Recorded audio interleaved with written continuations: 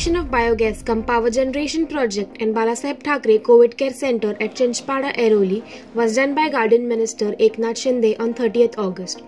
The COVID Center is an initiative of Shiv Sena senior leader and corporator Vijay Chaugule.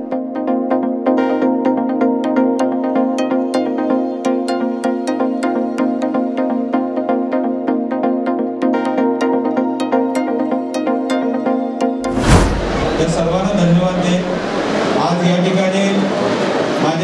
feel great that I have given my fund for such great initiative of setting up an biogas cum power generation plant in this area which will help people of the area. Also I appreciate the efforts taken by Vijay Chaugule of building this COVID center, said Minister Rajan Vichare. Vijay Chaugule have done a great work by starting this COVID center. This will be beneficial for the people residing in the slum.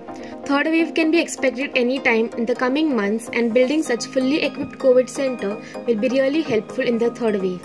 I also thank Rajan Vichare for funding the project of biogas cum power generation plant, said Guardian Minister Eknath Shinde. Along with the biogas plant and COVID center, Minister Shinde did Bhumi Pujan of elevated storage reservoir and sewage treatment plant on the plot of land in Digha village.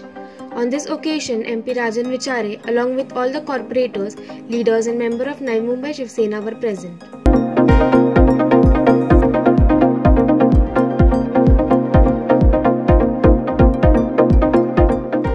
Riya Charna's report with cameraman Sandeep for Palika Prashasan, Airoli, Navi Mumbai.